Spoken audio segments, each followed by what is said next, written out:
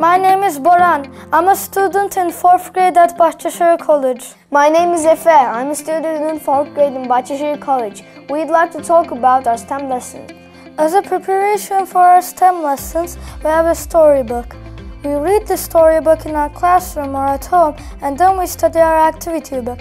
After that, we try to solve the problem that the characters experience in the story. In the story, our character Daisy is looking for an idea to move objects with free energy.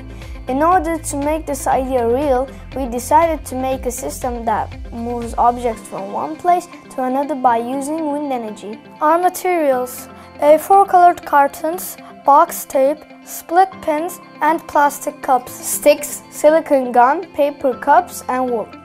Let's make our pinwheel! We make the body of our wind energy system from the plastic bottles by sticking them with tape.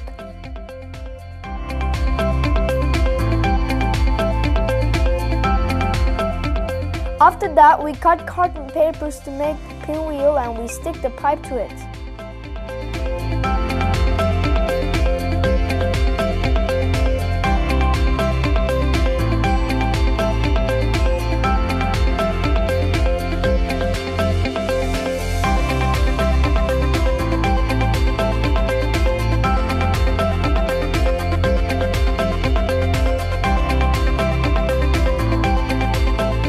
Slip the pinwheel's pipe through the bottles and we tie uh, the rope around the pipe.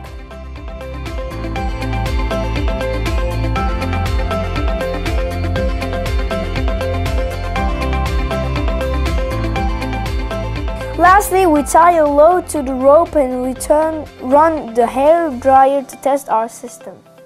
Thank you for watching and listening to us.